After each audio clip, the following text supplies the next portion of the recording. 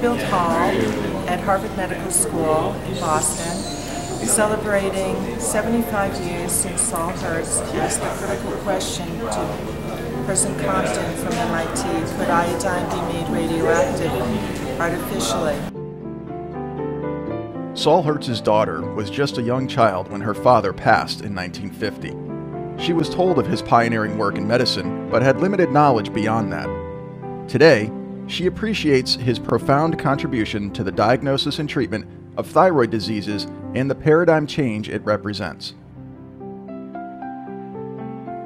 Preserved in the attic of her childhood home were boxes of correspondence, the handwritten data charts of the very first series of patients treated with radioactive iodine, journals, and newspaper articles. Here on display is Dr. Saul Hertz's work documenting him as the first and foremost person to develop the experimental data on radioactive iodine and apply it to the clinical setting. Radioactive iodine is a tracer, a treatment for hyperthyroidism, and the first targeted cancer therapy. Several prominent thyroid specialists and medical historians, including Jeffrey Mifflin, archivist with Mass General Hospital, have helped to review and organize this treasure. Saul Hertz was born on April 20th, 1905, in Cleveland, Ohio, to Orthodox Jews who had fled Europe. He graduated from the University of Michigan with Phi Beta Kappa honors. In 1929, he received his MD from Harvard Medical School, followed by an internship and residency at Cleveland's Mount Sinai Hospital. He came back to Boston to join the newly formed thyroid clinic at the Massachusetts General Hospital in 1931. It should be noted that he was a Dalton Scholar, and that Jewish doctors were not allowed on the staff at that time.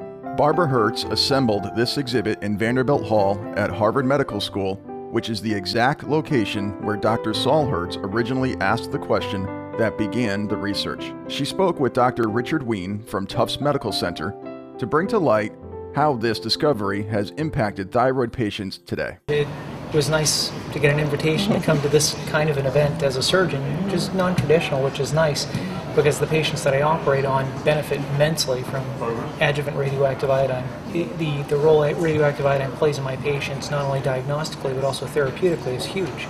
So for myself to see where it all started, the origins of this, and also see that it's rooted right here in Boston is, is very interesting. As much as we may do a total thyroidectomy and, and feel that we removed every bit of cancer, every bit of thyroid, it's almost like the, the, analogy I make to a lot of patients is like taking peanut butter off an English muffin.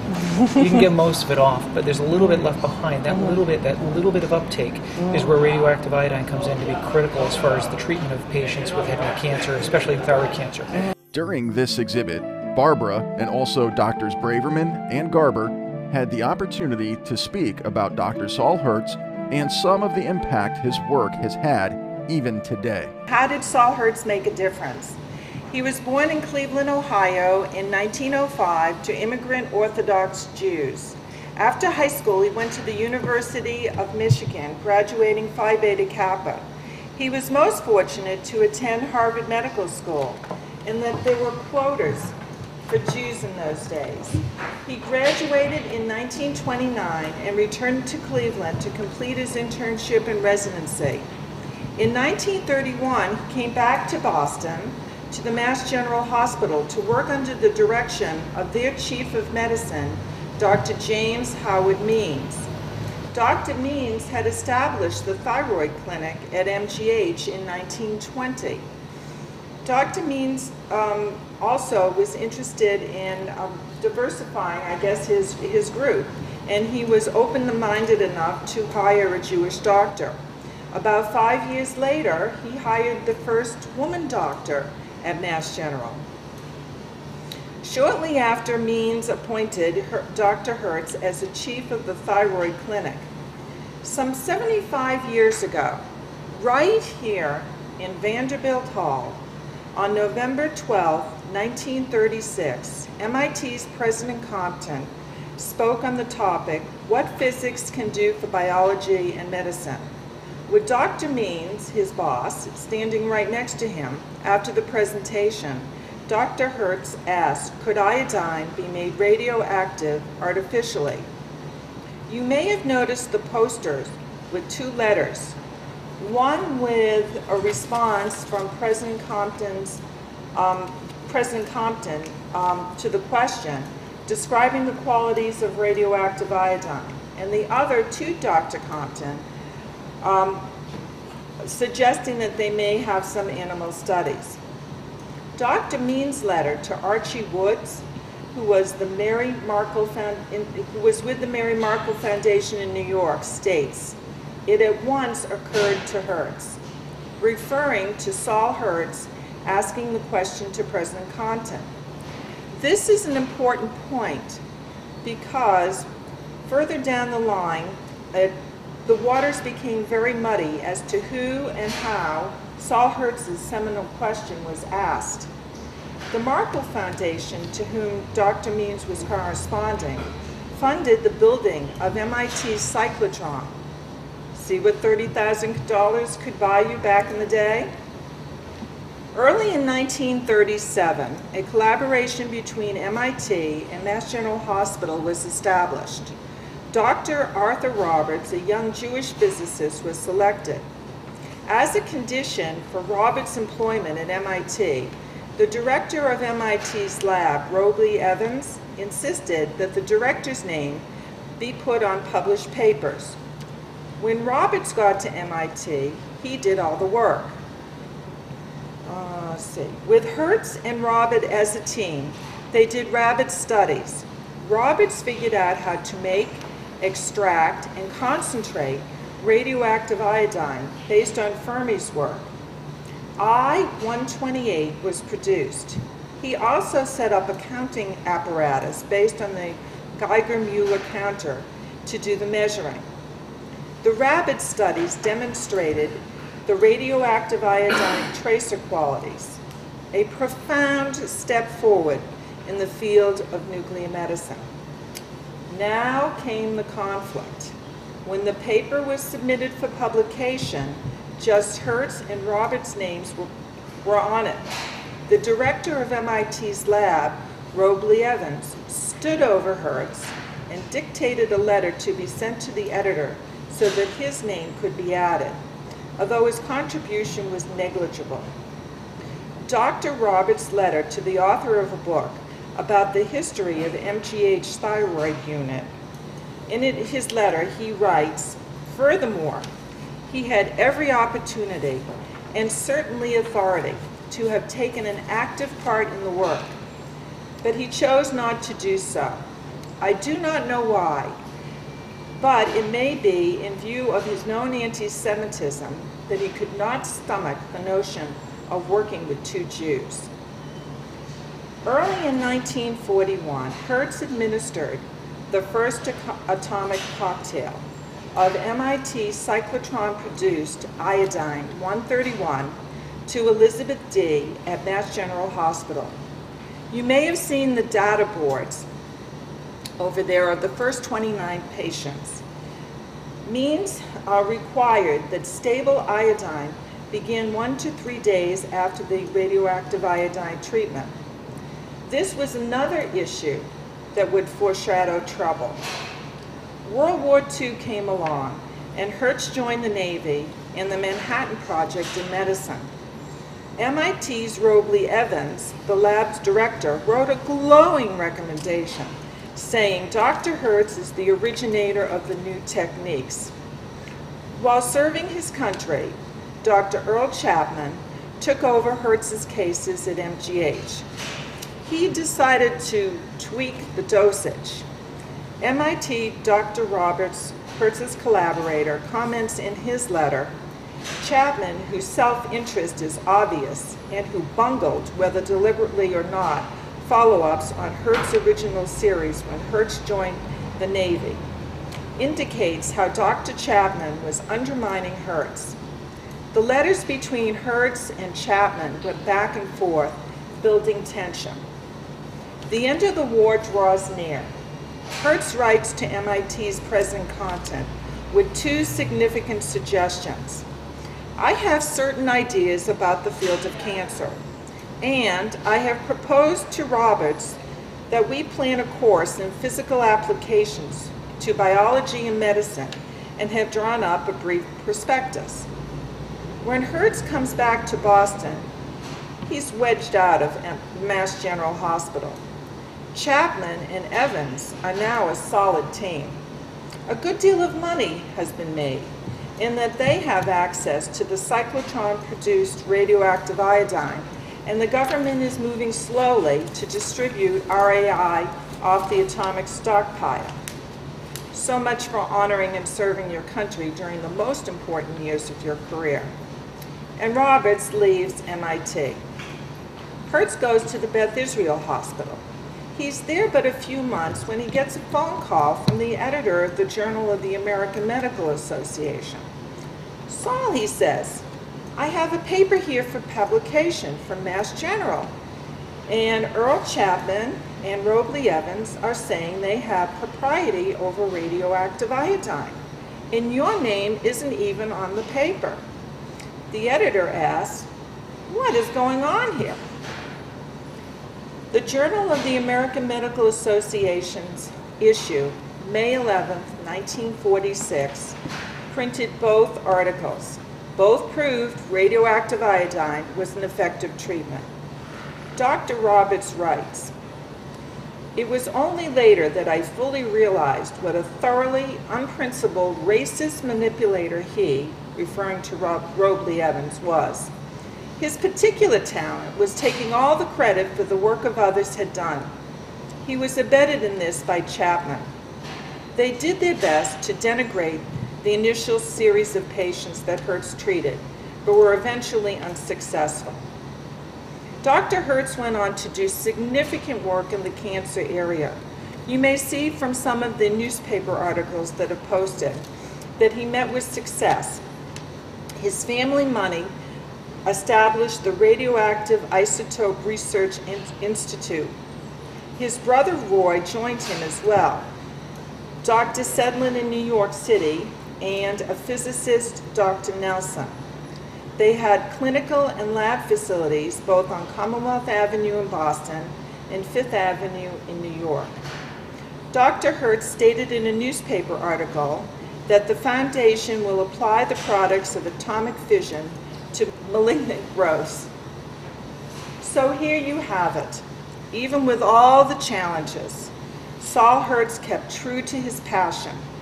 He left the legacy of millions of thyroid patients being treated with radioactive iodine, setting a cornerstone in the field of nuclear medicine, utilizing radioactive iodine in the treatment of cancer, and for sure having an effect on his brother Roy who went on in cancer research at NIH to help find a cure for a cancerous tumor. His teaching was important to him too. He directly influenced curriculum development, particularly at MIT and Harvard.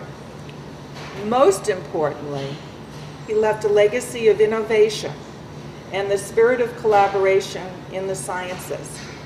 So please join me in saying thank you and mazel tov. I'd like to turn the program over to Dr. Garbers and Braverman, who can speak to the science behind his pioneering work, and to you, who are playing his dream forward. Thank you.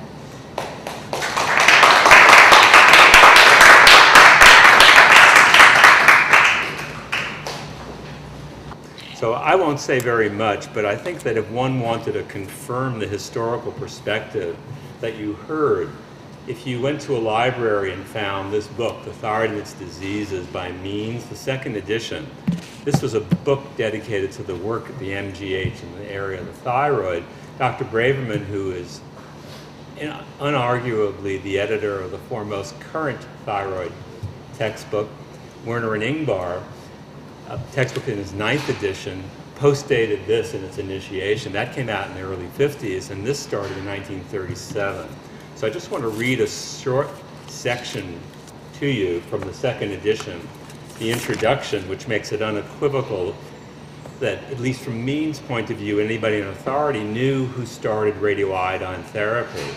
And basically, in this first page, within the first paragraph, or the forward, it says, the thyroid clinic at MGH has, been has made active use of these and it's been particularly fortunate to have some of the original contributors among its membership and close association with workers with special skills in other institutions. Saul Hertz, for example, with Arthur Roberts in the physics department of MIT, introduced the use of radioactive iodine for the study of thyroid physiology and the treatment of certain thyroid diseases in 1938. And there's no mention of the other authors' um, contribution to the initiation of radioiodine therapy. Then if you go to the chapter on radioiodine therapy, it actually reads like a review article, radioiodine, saying induced radioactivity was discovered in 1934. In that same year, Fermi and his co-workers in Italy prepared radioactive isotopes of iodine. Now recall that Compton's president of MIT spoke in this room in 1936 when he was asked the question, and the physiology studies that Roberts did with Hertz and I think Salter on rabbits, where they gave them tracer amounts of radioactive iodine, were in 38, following sort of the question and the availability and some limited amounts of iodine isotopes. So it goes on to say the first reports on the results of the use of radioactive iodine as treatment for thyrotoxicosis were those of Hertz and Roberts 1942 and Hamilton and Lawrence 1942. These reports were made at the same meeting of the American Society for Clinical Investigation, the first mention based on 10 cases, the second mention based on three. Hertz and Roberts in 46 reported again on their series, which then numbered 29, with doses of radioiodine ranging from 3 to 21 millicuries given as a 12-hour isotope. That was I-130, and followed by courses of ordinary iodine. So after the doses were administered, inorganic iodine was the only anti-thyroid drug available. In the 30s, it was a while before thioureas came into. That was around World War II, when Mackenzie and Astwood sort of developed it in search of an antibiotic. Chapman and Evans, 1946, also studied a treated series of cases using heavier doses than Hertz and Roberts, namely 15 to 79 millicuries given as a 12-hour isotope and without other therapy. So the point is that if you look at these two articles and question who originated, you'll notice that the Hertz series started in 1941 and went through 43. And then Chapman, who was Hertz's student while Hertz was in the Navy, started in 43 and changed the protocol in terms of the dose and abandoning radioactive iodine. So I won't go on anymore, but I thought that this is a bit prescient because this book, which is the second edition, is a deaccession book from the U.S. Naval Hospital in Newport. And Lou um, and I would like to give this to Barbara and inscribed it on January 23, 2012. Dear Barbara, many thanks for sustaining the legacy of your father's immeasurable contribution to medicine, and it's from Lou and I. So come on up here and we'll give you this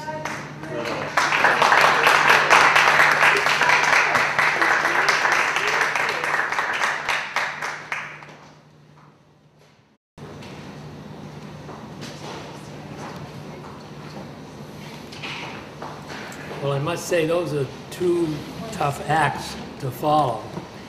And I'm not going to discuss any of the uses of radioiodine and its discovery, but rather would like to address very promptly and easily the whole issue of anti-Semitism at Harvard Medical School. And I know that in the 20s at Harvard College, when President Lowell was the president, there was a very tight quota on the entrance of Jewish students into the Harvard College. And this has changed remarkably over the past many decades. And anecdotally, uh, at the Mass General, Ben Castleman was, uh, was an outstanding pathologist and was kept as the acting chair of pathology at the Mass General for 12 years before he was finally appointed the chairman. So that I think that that sort of gives you a background of some of the problems that existed uh, at Harvard Medical School and at Harvard University in those days. That is all gone now, and I think we can sort of not try not to remember those problems that occurred. And when I went to medical school at Hopkins, I, there was about a 10% quota uh, at that time, and I must say we were ahead of Harvard Medical School because we had 10% of the class were women. And at Harvard Medical School, there were essentially none at that time. So that I, I think that we should also look at the last 25 years at Harvard Medical School when at one time, within this period of time, five chairs of medicine and professors of medicine at Harvard Medical School, at the Mass General, at that time the Peter Bent Brigham, the Beth Israel, the Mount Auburn, and the Cambridge Hospital were all Jewish. So that I think that one should try to remember a little bit the past, but I think that Harvard is certainly no longer has these kind of prejudices which existed without a question uh, in, in the earlier days. And my father-in-law was a thyroidologist and a professor of medicine at Harvard Medical School and at the Beth Israel Hospital. And I know knew, uh, knew, knew, knew Dr. Hertz. And uh, he published a textbook on the thyroid uh, in 1955. And the introduction to my fa father-in-law, Sam Gargill's uh, book was by Dr. Means. And I think that Dr. Means was an outstanding and remarkable gentleman who had none of these innate prejudices. And he wrote that Doctors Gargill and Lesses have given us a comprehensive, meticulous, and well-arranged text on the thyroid.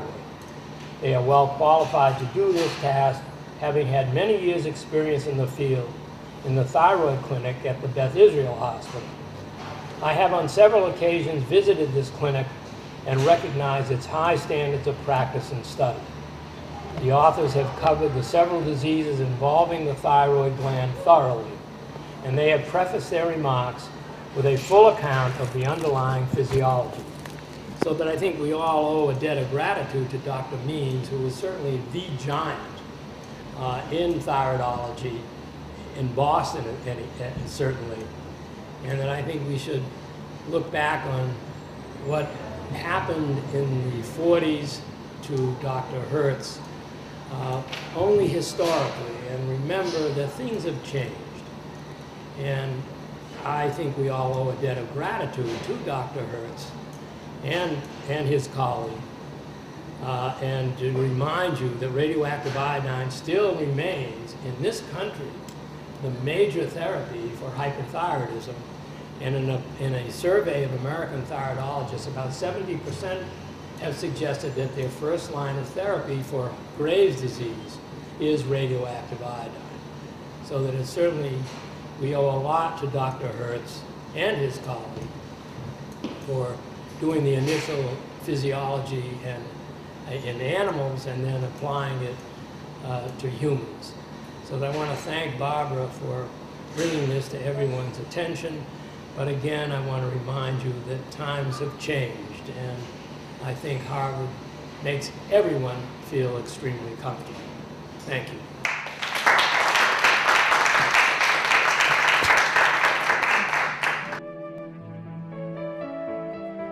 Saul Hertz's legacy is dynamic, profoundly affecting the field of nuclear medicine, countless generations of patients, and numerous institutions. To date, more than 1 million hyperthyroid patients have been treated successfully.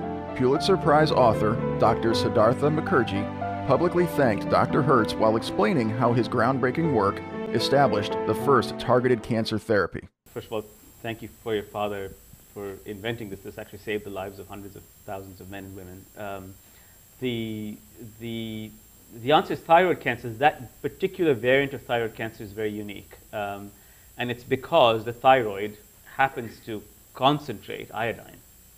Thyroid happens to be a unique organ in our body which takes iodine and sucks it up and puts it inside it. It concentrates, it's a little bag of iodine. And therefore, uh, if you make radioactive iodine, it becomes like a Trojan horse.